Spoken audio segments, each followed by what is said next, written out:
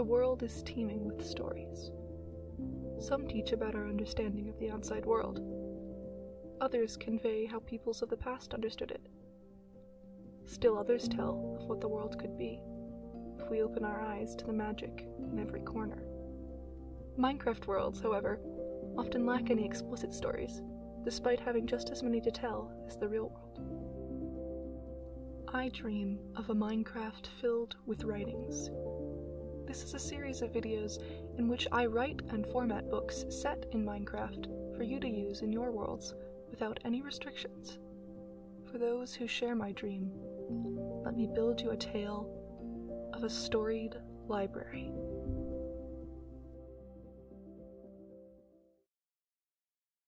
The Well Wisher, an oral tradition of the pastoralist village peoples, recorded by Steve MacClelland.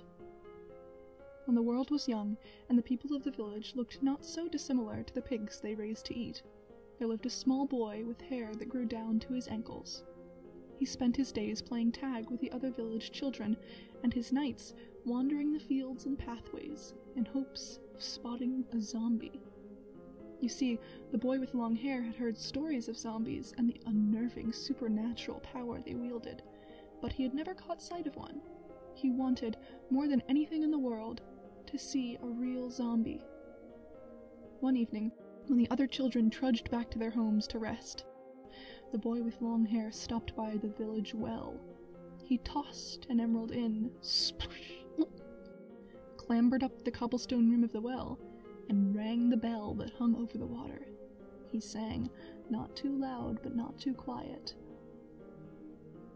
For my wish an emerald fell in the middle of the well. If I wish upon the bell, my greatest wish will come true. As he sang, he wiggled the clapper of the bell so it shook unsteadily and sang out a spine chilling tone. The village people, hearing the distress alarm, ran to their homes and quickly shut the doors tight. The two town golems searched every street in the fading twilight, but they found no threat to their charger's security. Finally, the iron golem came upon the boy with long hair, sulking by the well. Why did you ring the bell? the golem asked the boy. I was wishing on the wishing bell, but it didn't come true. Ah, said the golem, gently brushing the boy's hair out of his eyes. I see. You must learn, child, that this is not a wishing bell. It is our alarm bell, and when it rings, it means danger is near.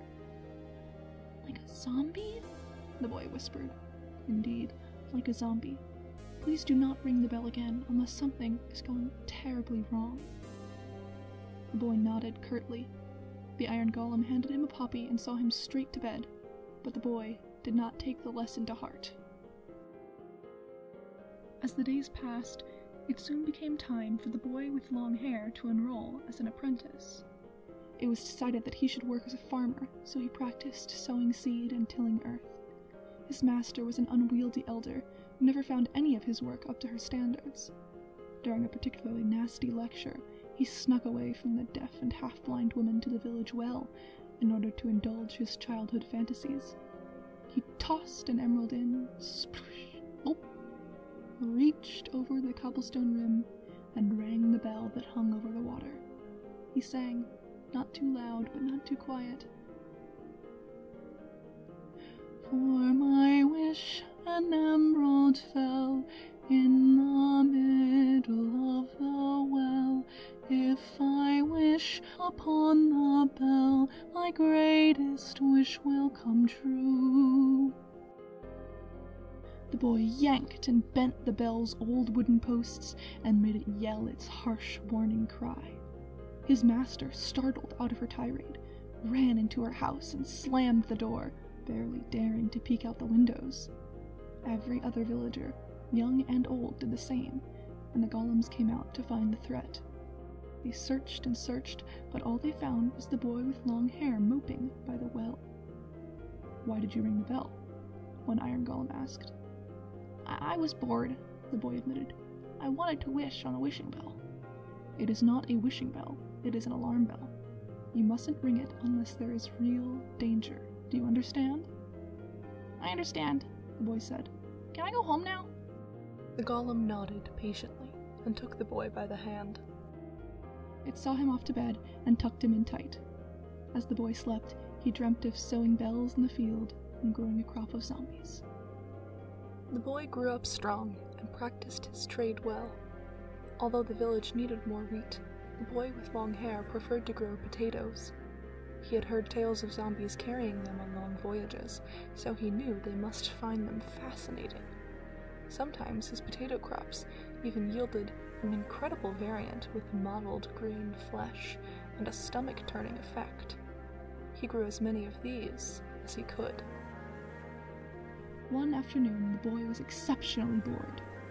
He watched the village people milling about glumly and set up his mind to cause a bit of excitement.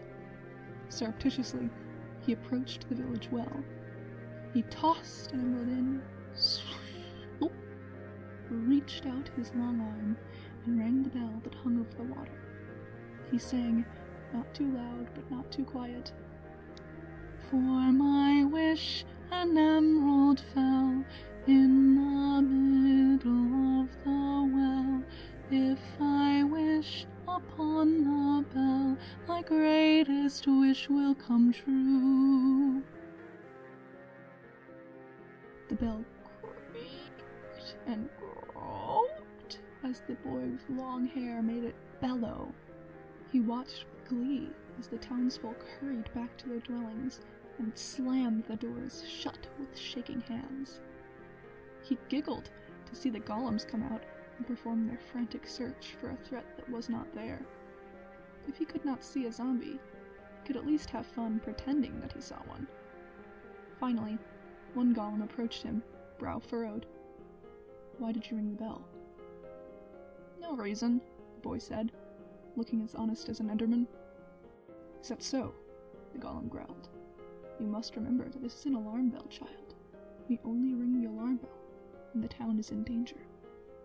Okay, only when there's danger, the boy parroted. The golem sighed a rusty sigh and led the boy back to his home. He went to bed early that evening and was dreaming a pleasant dream when. Suddenly, he jolted awake. Something was knocking on his door. Cautiously, he went over to peek through the window. The boy with long hair gasped. A zombie! It was a zombie outside of his very own door. By the light of the waning moon, he gaped at its loose green flesh, clumpy dark hair, and tattered blue garments. It was even more beautiful than he ever thought it could be. The zombie burst through the door and staggered drunkenly into the boy's home. Its sunken eyes fixed upon the boy's, and then it lurched forward, tearing a piece of the boy's flesh off with its bloody, broken teeth. Screaming, the boy bolted out of his home and tore down the streets toward the town center. As he ran, he saw at least twenty other zombies, all searching for warm bodies to consume. When he reached the well, the boy fumbled an emerald into its watery depths. Splash! And desperately rang the old golden bell. He screamed, far too loud, but not loud enough. Bell ring true and bell ring loud, bell ring out your warning sound. Wake the golems of the town, my greatest wish has come true. Zombies had noticed him now. They were incredible and powerful, and he knew they were deadly. He rang the bell faster and faster. The villagers were all already inside their homes. The horde stumbled toward the town center, closing in from all directions. Where were the golems? Why weren't they coming? The boy laughed. Here he was, ringing his old wishing bell, while the creatures he requested were approaching to kill him. He had nowhere to run. he laughed harder. No one was coming to save him. Why would they believe his pleas now? As rotten hands grasped at his cloak, the boy with long hair realized the only thing he could do. Grabbing hold of the bell, the boy swung his legs over the slippery cobblestone railing of the well and swallowed a great breath. Then, splash!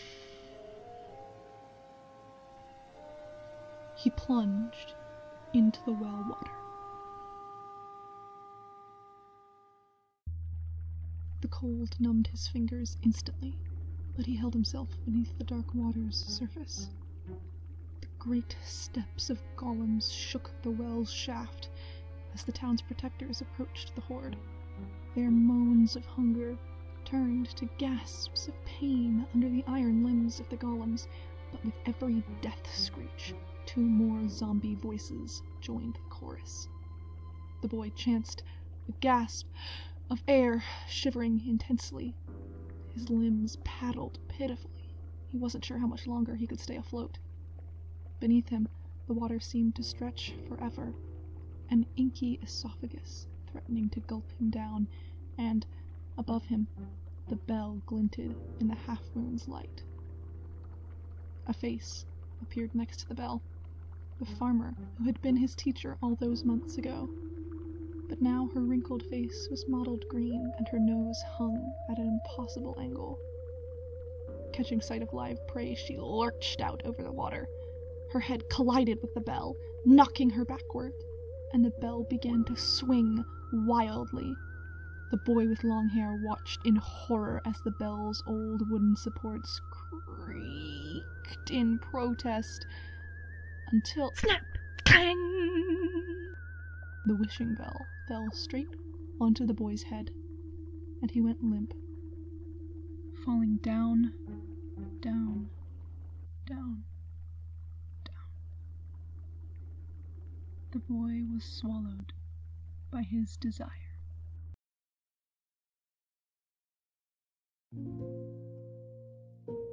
A quick note.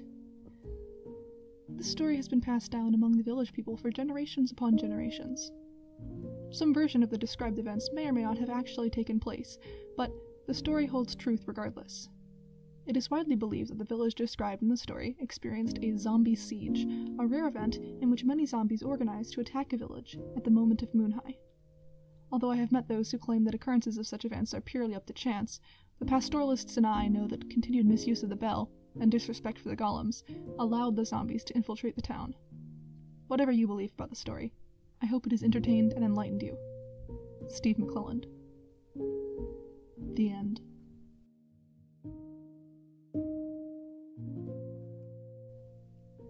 As always, if you liked this story, it is available in a Minecraft friendly format in the paste bin in the description. Every section delineated by the curly markers can be pasted onto a different page of a book and quill. There are also certain symbols called section signs that help format the book. They look like this by making any text that follows them italicized, underlined, or colored. What formatting they create depends on the letter that follows immediately after them, so a section sign followed by an O, for instance, makes the next part of the text italicized. To turn the text back to normal, input section sign R. You will need to copy and paste these signs into the book in addition to the normal text because they don't transfer when copying and pasting in bulk, unfortunately. Minecraft just kind of ignores them when you do that. If that doesn't bother you, you could ignore them too. In any case, I hope you enjoy using this more spooky story in your worlds. It was inspired by the skin called the Well Wisher in the Minecraft Campfire Tales skin pack. I love that pack so much. It's given me so many ideas for cautionary stories that Minecraft characters would tell each other. Besides those, I have stories with more positive endings in the works as well. Anyway, have a wonderful Halloween, and with that, peace be with you folks. I will see you at another time.